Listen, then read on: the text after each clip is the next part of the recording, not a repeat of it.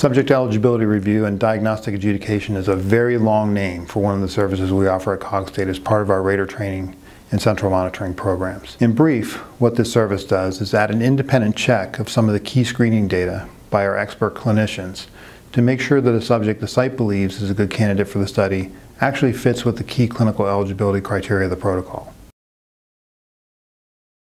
So one of the reasons clinical trials fail, and there certainly are many different ones, is that inappropriate subjects make their way into the study.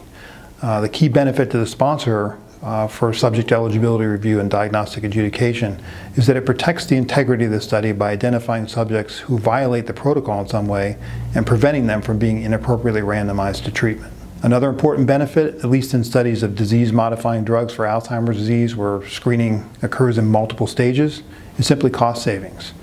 By identifying inappropriate subjects early, typically within a few days of the initial screening visit, it prevents more costly procedures like MRIs and PET scans from being performed unnecessarily later in the screening period. Similarly, it benefits the subjects who will never be eligible for randomization from having to go through those additional procedures, which can be invasive or otherwise unpleasant. The best way to explain the service is just provide an example from an actual study. Uh, Cogstate recently worked on a large global clinical trial of a potential disease-modifying agent in a sample of subjects with early Alzheimer's disease.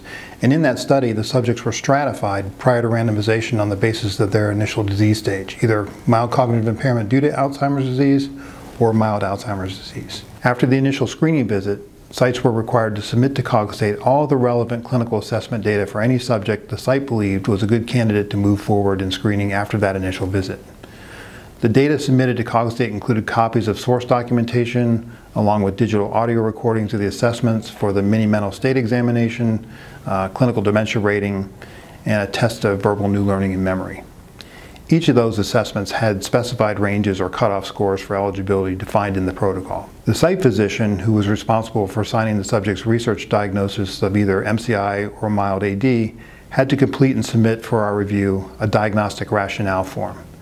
That diagnostic rationale form was something we designed here at Cogstate to document key aspects of the subject's clinical history and their current clinical presentation, like approximate date of onset of symptoms, uh, the nature of progression of those symptoms over time, uh, domains of current cognitive or behavioral impairment, impacts of those impairments on daily life functioning, and then any current medical uh, or neurologic disease or factors that could potentially have an impact on cognition and functioning. Okay, once the submission was complete, a regionally based neuropsychologist who's a member of Cogstate's local expert advisor network reviewed the submitted files to make sure the assessments had been administered and scored correctly, and then compared the final scores to the study eligibility criteria to make sure the subject indeed met those criteria. The neuropsychologist also reviewed the assessment results together with the information documented on the diagnostic rationale form to independently determine whether the subject better fit a research diagnosis of MCI due to AD or mild AD according to the NIA AA criteria published in 2011. If the subject was deemed questionable in any way by the reviewing neuropsychologist, then the case was raised for adjudication. And that meant that a second neuropsychologist, one of the science directors here at Cogstate working on the study, would examine the data and then confer with the original reviewer. To determine that a subject did not meet eligibility criteria and should ultimately be screen failed, or that an alternative research diagnosis should be applied for the subject, a consensus opinion had to be reached between those two experts.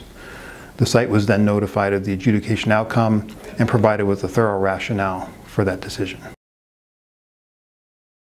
Okay, so in this particular study, screening data for nearly 3,500 potentially eligible subjects were reviewed by Cogstate's experts.